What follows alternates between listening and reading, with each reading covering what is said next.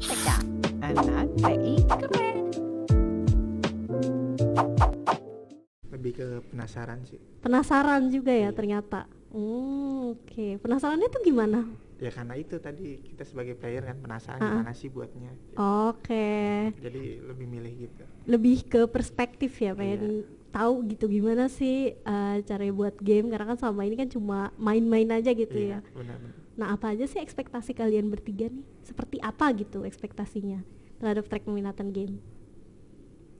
Awalnya sih saya ngira eh, kita langsung membuat game ya tanpa harus bikin desain secara tertulis dulu gitu. Jadi desain tertulisnya itu kayak kita udah di tengah perjalanan membuat game itu baru kita bikin desain tertulisnya. Hmm? Tapi ternyata awalnya eh, kita tuh membuat desain secara tertulis dulu sampai selesai baru kita mulai untuk membuat gamenya. Itu sih yang saya kaget aja.